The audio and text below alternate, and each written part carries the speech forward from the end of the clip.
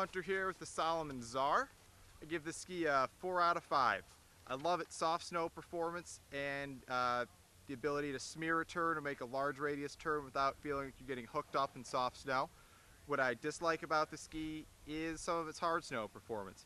Very skittish, well you can hold an edge, you have to sit centered to farther back on the ski, not extremely confidence inspiring.